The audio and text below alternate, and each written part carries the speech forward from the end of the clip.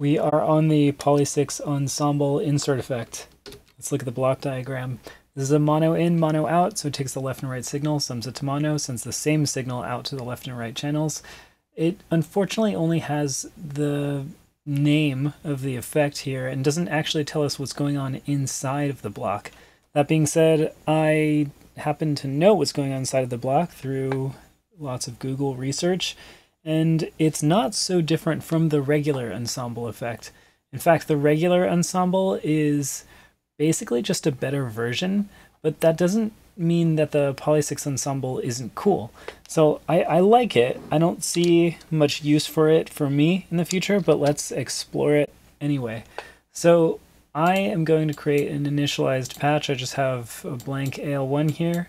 And now I'm going to go into Combi, and I was on A39, so let me choose 39. And I'm going to choose that for uh, four timbres, because I'm going to use these as feeds to the uh, to the to different ensembles to mimic what the Polysix ensemble is doing.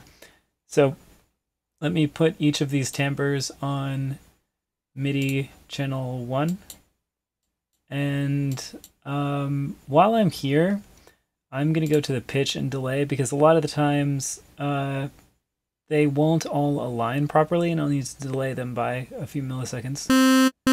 And we, in order to see that, need to route to um, our channels 1 and 2,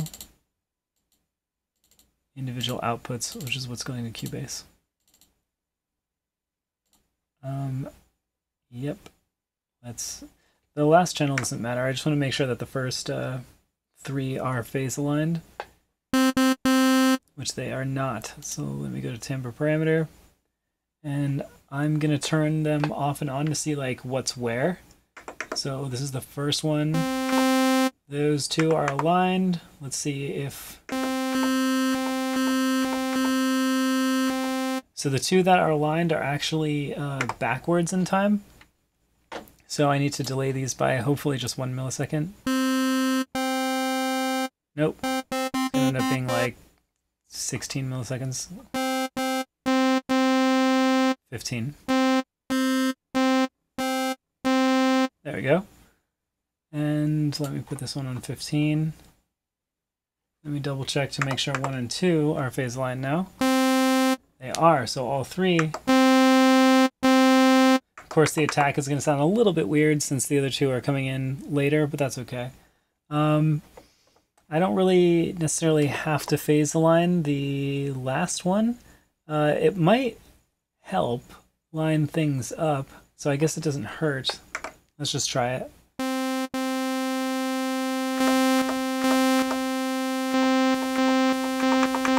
Cool, it's already lined up. Perfect.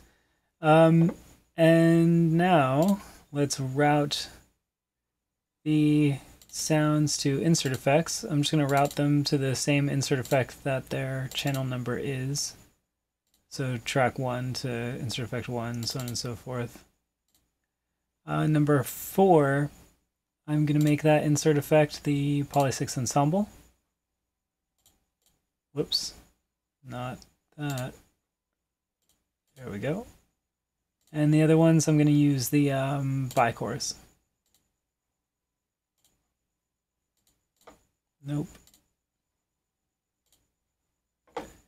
And I'm also going to pan uh, all of these left for the bi-chorus effects and the Polysix Ensemble right. It's just so that we can see them side by side in this stereo oscilloscope. Um, now let's set up the bi-chorus modules. So what the Polysix ensemble is, uh, is three chorus units that have different delay times, and the LFOs are two of them are traveling at 5 hertz, one of them is traveling at like 0.82, and then they have their phases offset by 120 degrees. Um, so let's design that. I'm using the bi-chorus effects. I'm going to put them all in serial mode. I'm going to lock the LFOs. and then I'm only going to use the uh, second chorus, so I'm going to have it pass through the first chorus unit uninterrupted. Um, for the first one, I'll put this one on like 8-2, and I will bring down the chorus unit itself and put it all the way wet, since it'll be easier to compare with just the wet signal. Um, and now let's do the exact same thing to the other ones. Actually, I'm going to put these on 5 hertz, serial mode, and then zero out all these parameters. And then I'll put it on wet. Uh, that looks good. Now the last one. Lock it, 5 hertz, serial mode, zeroing out the parameters, and put it on all the way wet all the way wet. And now for the last one, I'll just put this at like 55 and I'll put it on all the way wet. Uh, I'm gonna turn on, I'm gonna, I have every timbre off except uh, timbre 4. And so let's look at what this is. This is the Polysix ensemble. Let's see what that looks like. And again, I have to route to my proper channels, my proper outputs. There we go. And let's turn it on. So you can see that the longer LFO modulation going on, and then you can see the tinier ones that are that have LFOs that are modulating the delay times that are um, slightly askew. That is that their phases aren't exactly lined up. They're they're wiggling at like like one will go forward a little bit before the other, 120 degrees before the other. Uh, so this is the long one, and then these are the two tiny ones right here. And you can see that those aren't perfect, the two tiny ones aren't perfectly aligned. So to mimic that, I can turn all these on, and for two and three, I'm gonna uh, change their phases to 120 and minus 120. These are the faster uh, LFOs. And then I will, let's see, let's see what that looks like for now. And let's uh, turn on these timbres. I'll turn on all of them for now. And now let's uh, add some LFO depth. And let's do the same thing for this one. And now we have to set a bit of delay for the, I could do it here, for the longer one, and then I'll add some modulation to that one as well.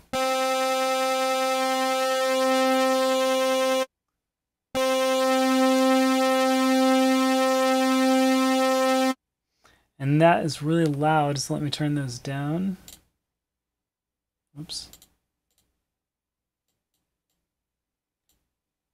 And I'll just use the faders here. Let's put them on like, yeah, 90, 92, 93. That's probably fine. Let's see. Okay, I could just do it here I feel like it. I want them exact, there we are. So that longer one, I'm going to work on that one for a second. Let's bring the delay time down and the modulation depth up.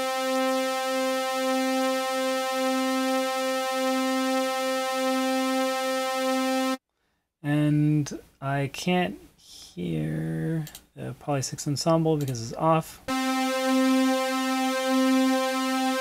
So we're already pretty close. We can see that the depth is not big enough for the the tiny ones, let's... Actually... Yeah, the depth isn't isn't big enough for the tiny ones. And then also, uh, I want to add a little bit of delay to one of those as well.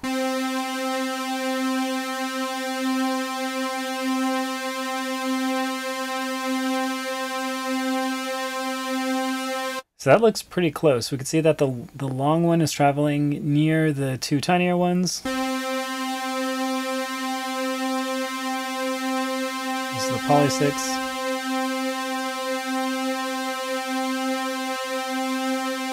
You know what? I'm just gonna say that that's done because that's that's really close.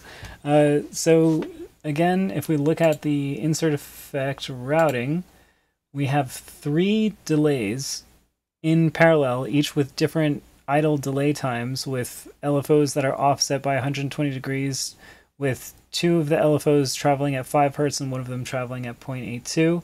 And that is what the Polysix ensemble is doing. It's just, but then it's of course summing to mono. Um, and that's uh, that's that's everything. The the regular ensemble effect I would say is better. I think the regular ensemble effect does not have the ability to sum to mono. Let's check actually.